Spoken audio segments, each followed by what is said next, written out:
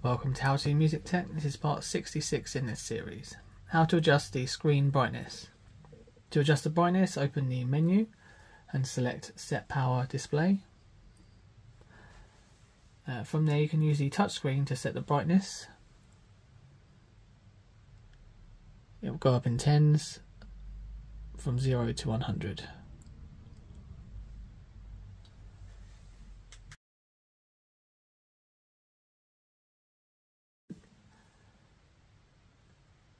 Thank you so much for watching this tutorial. I really hope you found it helpful. If you did, make sure you give it a like and subscribe for more tutorials on this unit and others to come. Plus, if you'd like to support the channel directly, why not consider becoming a member? Thanks again, goodbye, see you in the next one.